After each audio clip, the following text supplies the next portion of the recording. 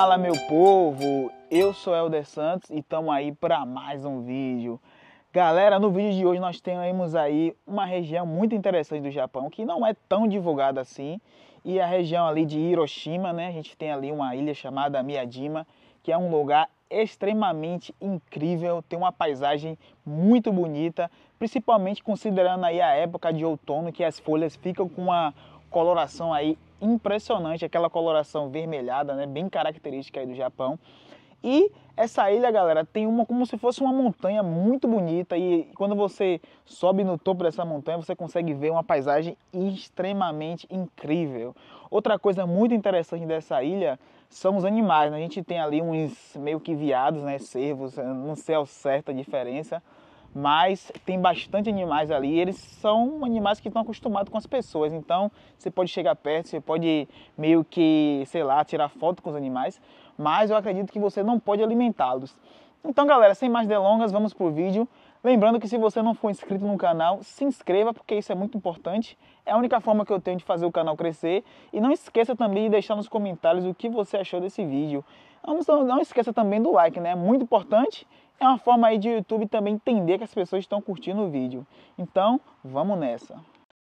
Bom, para chegar na ilha de Miyajima é muito simples. Você estando na cidade de Hiroshima, existe um ônibus e um trem que pode te levar para a estação de ferry de Miyajima. Essa estação de ferry, ela fica muito próxima de Miyajima, então o passeio vai durar em torno de 10 a 15 minutos e você vai poder deslumbrar essa vista maravilhosa aí, que é a, a ilha né, de Miyajima. A gente tem uma vista incrível, a gente já consegue ver as montanhas de Miyajima. E muitas das vezes eu fiquei desejando que esse passeio durasse um pouco mais, porque a vista é realmente incrível e o passeio é bem tranquilo, não tem ondas, não, não é um lugar que há, ou, é uma, um mar aberto, é uma coisa bem simples mesmo e bem relaxante. Então, Miyajima, ela fica na ilha aí perto, né? É uma ilha perto de, de Hiroshima e ela é conhecida como a Ilha dos Deuses. Miyajima é famosa por suas paisagens deslumbrantes, rica cultura e profunda conexão com o Shintoísmo, que é a religião nativa do Japão. Então, a gente começou esse passeio aí pelas encantadoras ruas de Miyajima, onde a arquitetura tradicional japonesa se mistura com a tranquilidade do local. As ruas são rodeadas aí por pequenas lojas de souvenirs, restaurantes que oferecem aí especialidades locais como ostras frescas, santuários dedicados aos deuses e a gente tem uma atmosfera aí bem pacífica, né, com os, os cervos que são animais considerados aí mensageiros de Deus e eles vagam livremente pela cidade. A seguir, a gente começa uma ascensão ao Monte Misen, que é um ponto mais alto da ilha, com cerca de 535 metros de altitude. O Monte Misen não é apenas um local de beleza natural, mas também é um importante centro espiritual. O caminho até o topo é repleto de paisagens deslumbrantes, especialmente no outono, quando as folhas das árvores se transformam em um espetáculo de cores vibrantes, tons de vermelho e laranja e amarelo que aparecem que é uma coisa incrível, né? Às vezes a gente não dá nem para entender a, a, coloração dessas, dessas árvores. No topo do Monte Misen, a gente encontra uma série de templos e santuários dedicados ao shintoísmo e ao budismo. O templo mais notável é o Daisho-in, que é um dos templos budistas mais importantes de Miyajima. Esse templo pertence à escola Shingon do budismo, uma das mais antigas do Japão.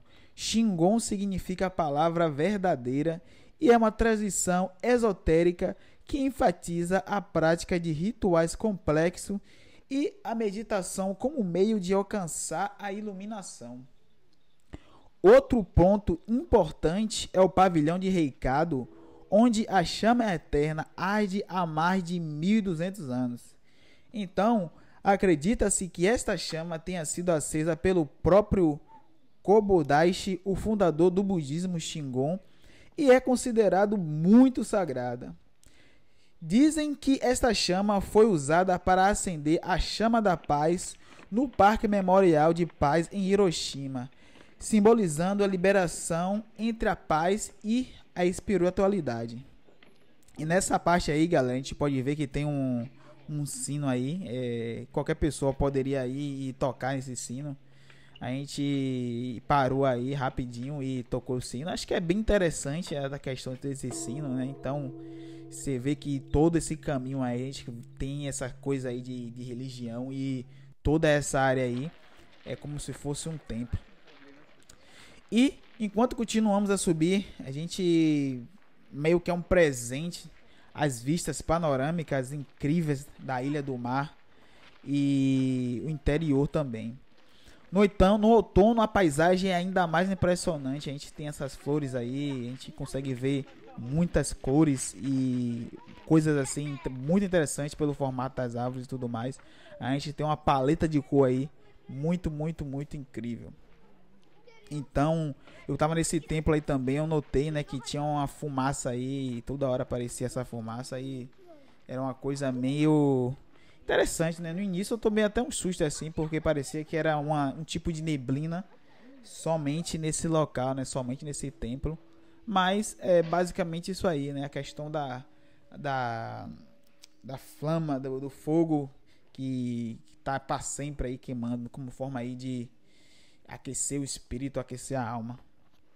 A gente tem também outro tempo aí que a gente algumas coisas que realmente eu não entendo o, o, significado, né? Basicamente são coisas aí da religião japonesa. A gente tem muitas muitos símbolos, muitos desenhos. E eu coloquei até uma moeda ali. Tentei tocar ali o um instrumento também que é muito utilizado aí pelo pelo budismo. E é uma coisa assim incrível para mim, né, que gosto de explorar as coisas. A gente tem bastante simbolismo aí, a gente tem estátuas, a gente tem tapetes. E lembrando, galera, que a maioria desses lugares aí você não pode entrar de sapato, a gente tem que tirar o, o sapato. Não sei se dá pra ver aí nas imagens, mas a maioria das pessoas aí estão sem sapato. Tem que tirar, né? Pode entrar de meia. E outra coisa também é que você não pode é, entrar nas partes aí que, que tem as, os materiais, né? É, no caso, não pode entrar, não pode chegar mais perto aí do que eu, que eu tô. Eu tô na distância limite aí, então não podia entrar dentro do templo, porque obviamente, né, você tem que ter uma autorização especial e não é todo mundo que vai poder entrar, né? A gente tem também aí vários quadros, várias coisas interessantes aí. Então, aparentemente tudo tem um significado. Parece até uma coisa meio de de adoração de, de simbolismo, né? Então, porque tem muito simbolismo, muita estátua de Buda e tudo mais. E é uma coisa muito interessante. A gente tem também várias coisas aí no caminho, né? É uma subida que realmente foi uma subida um pouco cansativa. Eu acho que deve ter durado aí umas duas horas até a gente conseguir alcançar o topo aí dessa, dessa montanha. Mas a vista, galera, foi uma coisa assim eu acho que valeu muito a pena toda essa subida aí, porque não é uma coisa que a gente vê todos os dias. E a, inclusive a vista ela é bem parecida com a vista do Rio de Janeiro. Então eu acho que vale muito a pena. É, Miadima em si e o Monte Mises são lugares que combinam beleza natural com a profunda espiritualidade. E aqui a gente pode ver que a natureza e a religião elas se entrelaçam. Então ele meio que oferece aos visitantes uma experiência de paz e contemplação. E é isso aí, aproveitando a, leva do, do outono também, que proporciona aí cores incríveis. E olha só, galera, essa vista maravilhosa.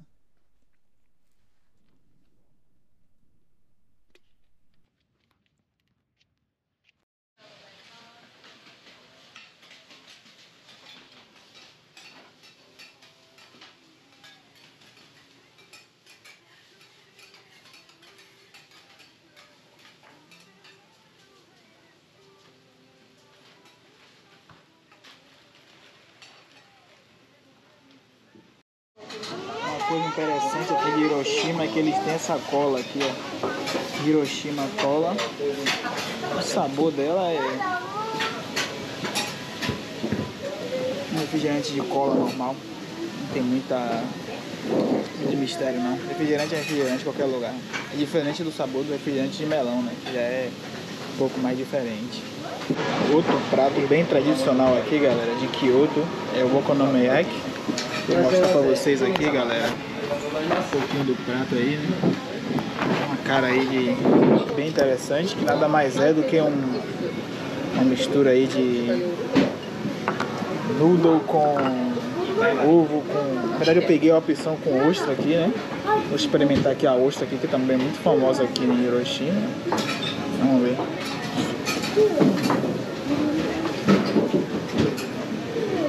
Interessante. Agora vamos experimentar aqui o okonomiyaki, que é nada mais do que um, uma salada aqui com macarrão e ovo.